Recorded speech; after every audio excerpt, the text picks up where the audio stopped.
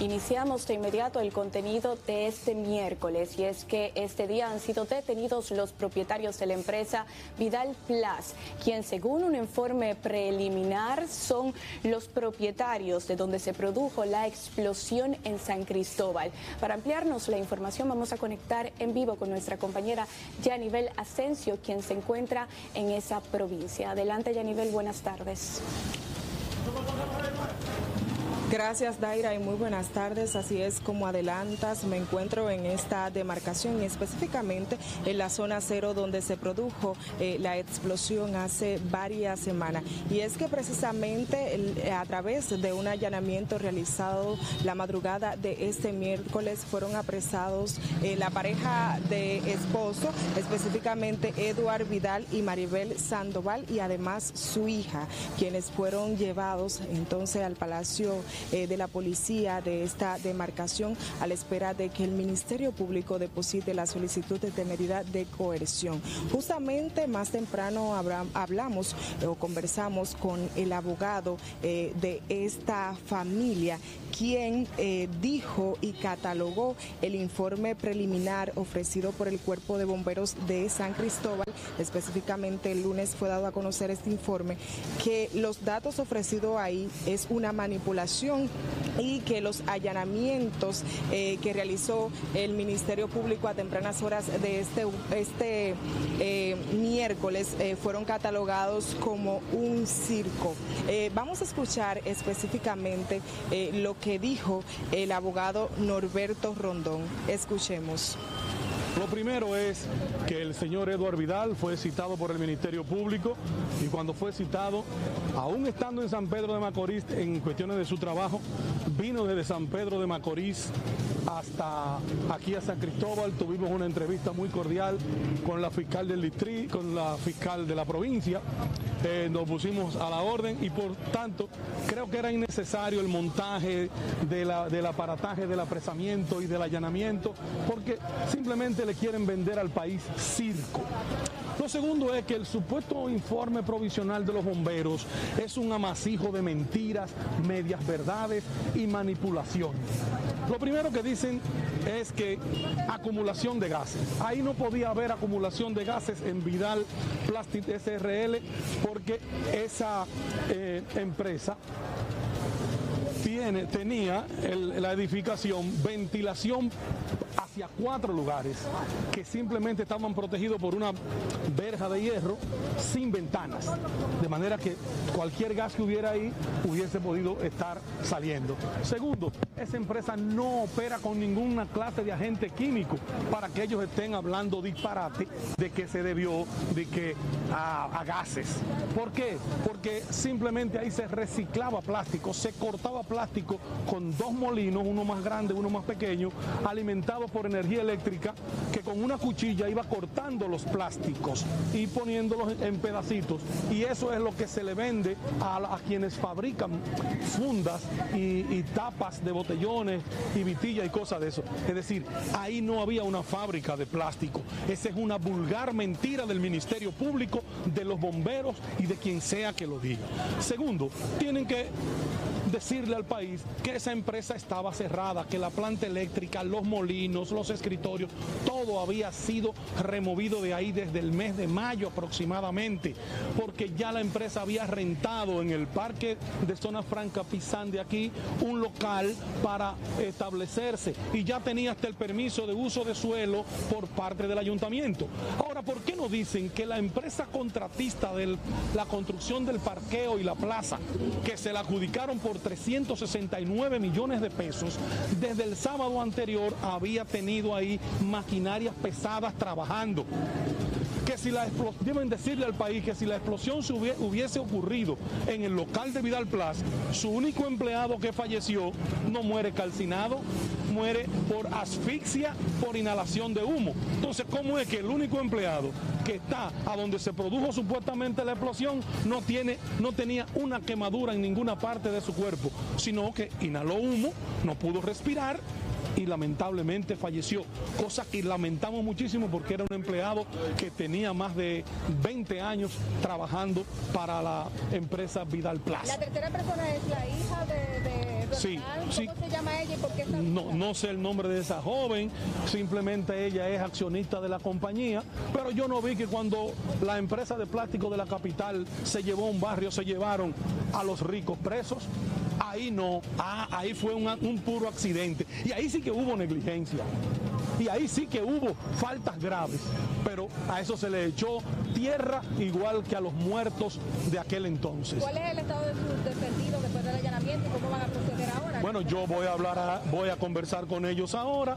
Eh, imagino que le van a solicitar una medida de coerción. Vamos a ver cuáles son los planteamientos que tiene tendrá el Ministerio Público en esta medida y nosotros.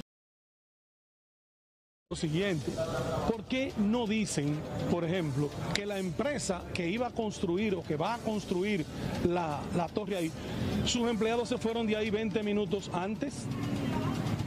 Y tenemos video de eso y tenemos la declaración del gerente de esa empresa diciendo que 20 minutos antes él recogió todo y se fue porque venían el síndico, el ministro de línea ascensión y otros funcionarios del gobierno y venían a dar el primer Picasso. ¿Qué significa eso? Eso significa que ya quien tenía el control de, ese, de, de todos esos edificaciones era el Estado a través del ayuntamiento, del Ministerio de Obras Públicas y del fideicomiso que, que va a construir el parqueo. Porque, ¿Por qué no dicen, por ejemplo, que ahí se estuvieron haciendo excavaciones? se estuvieron haciendo excavaciones y se hicieron demoliciones. Pero además, la empresa Vidal SRL fue desmantelada. Le robaron las puertas y las ventanas. ¿Cómo se iba a acumular gases donde no hay puertas, no hay ventanas y hay ventilación? Eh, por, las, por los cuatro lados de, de la edificación. Y inclusive ese robo fue denunciado y al ladrón el Ministerio Público lo despachó porque él alegó, eso está en manos del ayuntamiento, eso no es de nadie. Todo el mundo sabe que cuando quedan edificaciones así se convierten en, en centros de prostitución, de consumidores de drogas, de extranjeros ilegales que no tienen donde dormir y pernoctan en ese tipo de lugares que pudieron haber llevado ahí cualquier cosa. ¿Sabe Dios qué cosa? ¿Y por qué no dicen que el ayuntamiento tenía un comedor ahí? Porque ellos hablan de la explosión de una caldera, pero Vidal Plus no, no utilizaba caldera, que presenten la caldera. ¿Usted sabe cuáles serían los cargos exactos que estarían empezando con No, todo eso te digo. Desde el ¿Serían punto, desde el... de, de arresto? Sí, sí, había una orden de allanamiento y arresto y por eso están aquí. Su cliente se había presentado ante Voluntariamente. Lo que pasa es que parte del show es que aquí todo el mundo ahora en el Ministerio Público quiere esos 15 minutos de fama. Entonces gánense la fama haciendo un trabajo profesional, no simplemente montando shows mediáticos. Otra cosa, deben, deben decir y deben aclararle al país, deben aclararle al país que en todo caso, por ejemplo, la hija del señor Vidal trabaja, ni siquiera estaba ahí, la responsabilidad penal es personal. La responsabilidad penal es personal. El señor Vidal no estaba ahí tampoco. Lo único que le quedaba ahí a, a la empresa Vidal Plus eran pedacitos de plástico que estaban en sacos. Y por eso se llama a un empleado, ve, sácalo, ponlo en el furgón, porque ya eso lo van a desbaratar. Porque una empresa que tiene 15 o 20 empleados y después nada más le queda uno, evidentemente de que no estaba operando. Y para eso no hay que ser un genio ni del derecho ni haber ido a estudiar a Harvard. Vamos a ver cuáles son los tipos penales que ellos pretenden retenerle. Por ejemplo, en el caso del señor Vidal, él es, el lo, es lo que es el, el esposo de la principal accionista, que es su esposa, el esposo común en bienes. ¿Cuál es el tipo penal? La hija es accionista, pero no estaba ahí, la responsabilidad penal es personal. Lo que pasa es que aquí se le tiene miedo a esa gran empresa constructora y lógico, los bomberos no iban a hacer un informe que contrariara al señor síndico. Porque además, a otra cosa, tenemos un acuerdo firmado hace meses con el ayuntamiento donde todos esos locales se entregaron y se le prometió a ellos darle locales en la plaza comercial que se va a construir conjuntamente al parqueo. Pero ¿por qué no dicen que ahí había alguien que trabajaba con, con tanques de gas propano? Según lo que usted dice, entonces debe haber una responsabilidad del ayuntamiento, del, del ayuntamiento y de la empresa que iba a construir o va a construir ahí y del fideicomiso. Y eso, esas empresas tienen responsabilidad desde el punto de vista civil, responsabilidad civil por la cosa inanimada. Eso no es otra cosa más que eso, porque para que haya un tipo penal habría que probar que ahí se dio la orden o se pagó para que alguien explotara esa edificación, cosa que hasta ahora no se ha aprobado. Además dicen un disparate de que, que el cortar el plástico y con el calor libera gas metano.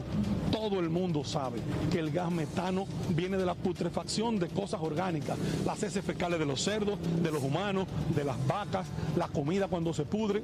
Porque si fuera así, cuando los vertederos se encienden, explotaran.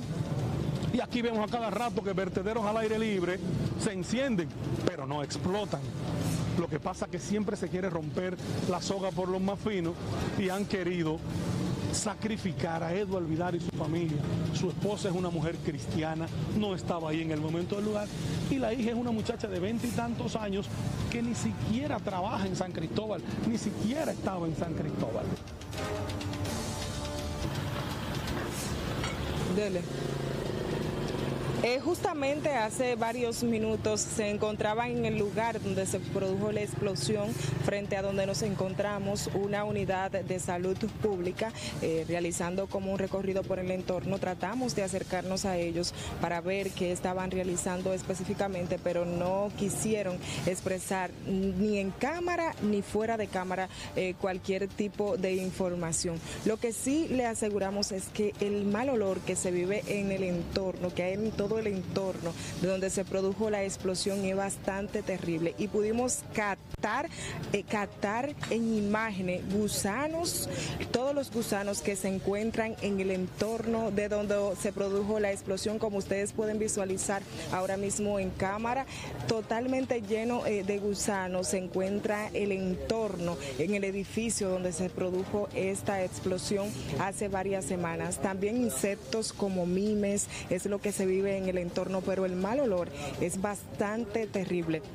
Casi las personas que están cercanas a este lugar se encuentran con mascarilla porque la verdad es bastante eh, fuerte el mal olor que se vive en estos momentos, en estas inmediaciones de las horas cero, donde se produjo la explosión eh, hace varias semanas aquí en la provincia eh, San Cristóbal. En tanto, más temprano también conversamos con Cristian Vidal, quien es hermano del propietario Eduard Vidar, eh, del propietario de la empresa donde se produjo la explosión, y quien aseguró también, al igual que el abogado, que eh, el informe presentado por el cuerpo de bomberos de esta demarcación no tiene credibilidad. Esto debido aunque, eh, esto debido a que en el documento que se dio a conocer, eh, se dan a conocer, eh, o mejor dicho, se presentan o se mencionan algunos instrumentos que eran supuestamente utilizados en esta empresa, pero él asegura que ninguno de esos instrumentos ellos hacían uso, ya que no era una fábrica, sino una empresa recicladora de plástico. Pero vamos a escuchar específicamente lo que dijo Cristian Vidal. Estamos muy indignados por la forma que ha sido tratada el tema. La empresa Vidal, para la primera, estaba clausurada. Segundo, en la información preliminar dice que explotó una caldera. Para el reciclaje de plástico no se usa caldera, sino son molinos que trabajan con electricidad y no con, ningún tipo de combustible. Ellos hablan de que explotó una caldera con biomasa. Nunca yo en mi vida he visto, yo tengo 40, 50 años de edad, todo el tiempo hemos sido recicladores yo nunca he visto una caldera ninguna recicladora. Nosotros usamos molinos convencionales. Pueden ver aquí cómo se muele el plástico. Así que se muele el plástico, sin ningún tipo de, gases, nada, así que se recicla. ¿Qué piensa usted respecto a, que que han detenido a su hermano? Un abuso, ha sido simplemente un abuso, una forma de querer tapar no sé qué. El plástico no explota, no produce gases, si no los vertederos explotaran con los gases. Ahí no había, eh, lo que dice la, la, la, la, los técnicos, que explotó una caldera, pero allá no hay caldera. ¿Dónde está la caldera? ¿Dónde está la prueba que estaba la caldera para acusarlo? No hay ningún tipo de, prueba para acusarlo con una caldera porque no se usa caldera, porque están confundidos. No es una fábrica de plástico. Nosotros tenemos una recicladora donde no se usa ningún tipo de químico, no se usa nada y eso estaba cerrado. El empleado que había allá era recogiendo y murió por asfixia, no murió quemado. Eso indica que la explosión, el, el, el incendio no inició allá. Nosotros somos una víctima. Mira, ¿cómo está su hermano? ¿Cómo está? Muy, muy, muy, muy mal, está mal. Está... ¿Qué le dice ella? ¿Qué le dice? ¿Le ha expresado algo? ¿Le ha manifestado No, algo? que haya algo porque no hay, no hay razón ni motivo. O sea, usted dice que el incendio no, no, no empezó allá. Entonces, ¿dónde usted cree que empezó? No, no tengo conocimiento porque yo estoy vinculado a esa empresa, yo tengo la mía. Pero que no fue lo que te dicen, o sea, el, el- el- el estudio que te hacen, que te dicen una caldera donde no existe caldera, donde el plástico no se recicla con caldera, entonces están falseando. Donde te dicen una nave cerrada acumuló gases, donde la nave abierta total, arriba, donde no hay ningún tipo de, de- de- de encerramiento, entonces alguien está mintiendo. ¿Qué esperan ustedes ante esta investigación? Que se aclare, que se aclare y que busquen los verdaderos culpables. Que busquen los verdaderos culpables y que no cojan chivo expiatorio.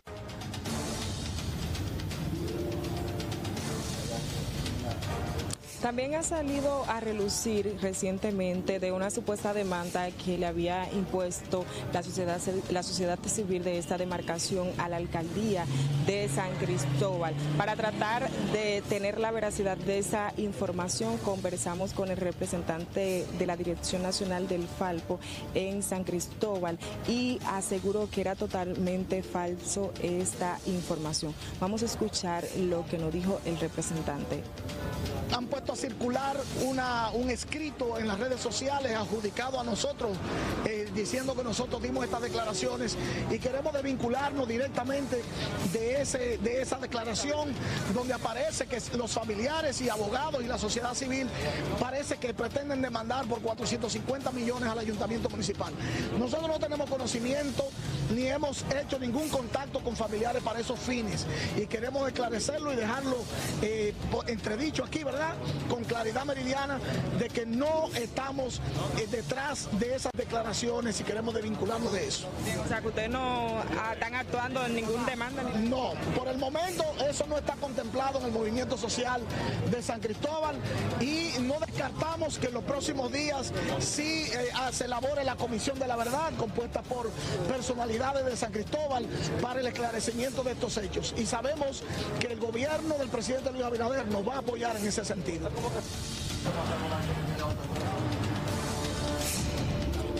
También, según el informe preliminar dado a conocer por el Cuerpo eh, de Bomberos de San Cristóbal, eh, la explosión se produjo supuestamente por la acumulación de gases altamente inflamables. Recordar que 34 personas eh, perdieron la vida en este estallido, mientras que una decena de personas resultaron heridas.